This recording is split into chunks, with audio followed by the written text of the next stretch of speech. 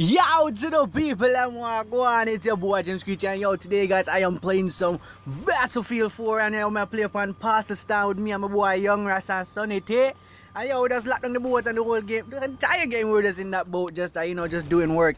And yo, guys, I'm just gonna bring you guys episode three of our, you know, my Jamaican stories, cause uh, you know, while I was actually doing this uh, video here, I just kept thinking about uh, how I actually learned how to swim back in Jamaica, and uh, it's it's a fucked up way that I actually learned how to do it. So uh, let me just dive right into it for you guys. So, so first off, I, I uh, in Jamaica I live about uh, about a mile away, mile at most away from the uh, from the from the ocean. And uh, you know what? Everybody in my community where we actually live is either they're a carpenter or they're a fisherman, and uh, that's just how it was. That's how it was when I was growing up. I and uh, at the age of about uh, what can I say, around six, around six is when I actually learned how to swim. And uh, one day my uncle told us, you know, his name was Pedro.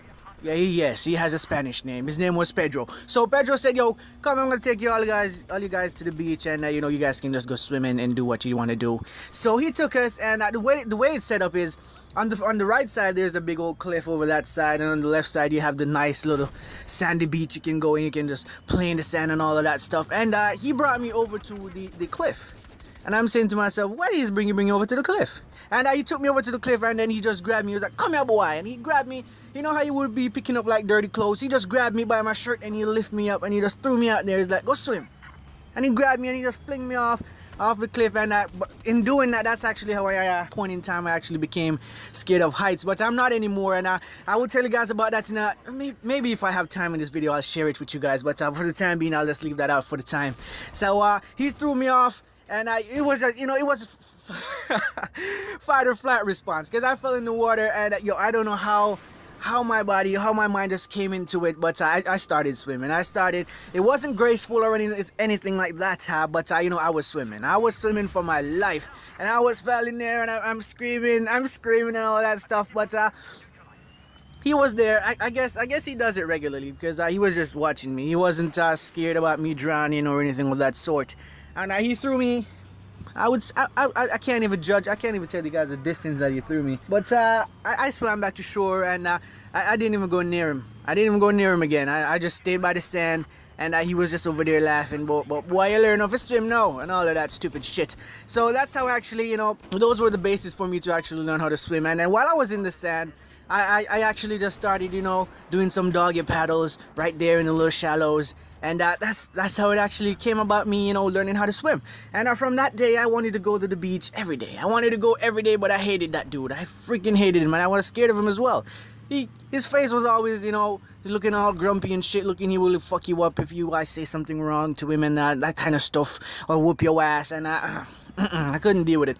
And uh, the other day, the uh, a few weeks later, I should say, uh, we went back to the beach and I saw him there. I saw him there, and he chased me down and he grabbed me and he. I was little, I was little, so he chased me down and he grabbed me and he bring me up to the cliff again and he threw me off. I was like, I was like, oh, fuck you, man. but uh, you threw me off yet again, and I, you know, I just did my paddling thing again, and I made it in.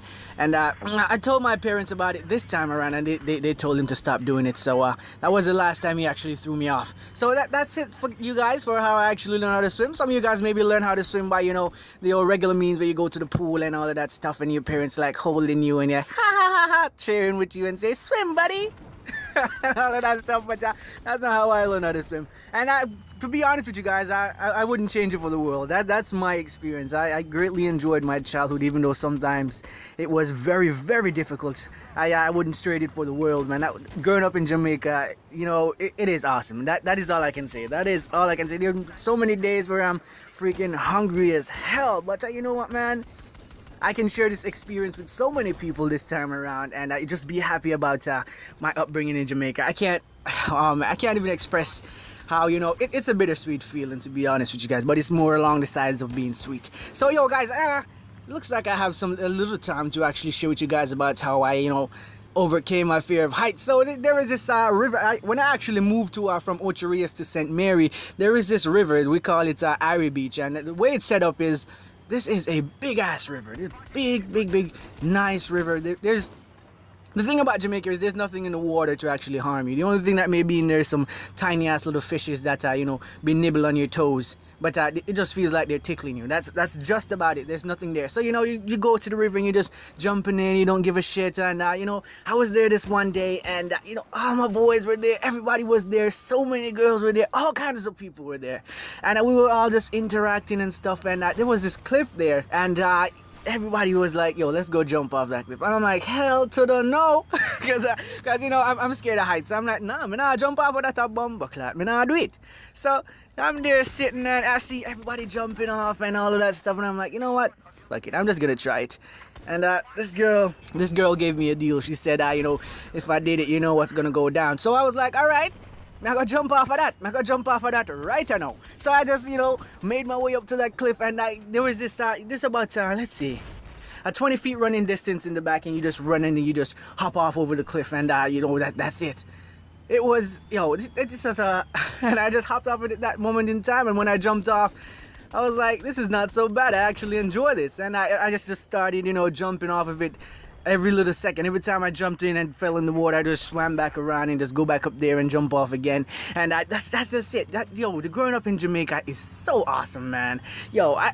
Yo, you guys, yeah, the video's gonna be coming to a close in a, in a couple seconds. I want to say thank you guys so much for watching, and uh, yo, yo, boy, Jim Screechie out. I'll be sharing some more with you videos with you guys uh, tomorrow and further on. But I wasn't uh, active this week because I was uh, a bit occupied. But uh, Next week, I'll be uh, more in tune with you guys. Thanks again for watching, and uh, yo, your boy Jim Screechie out.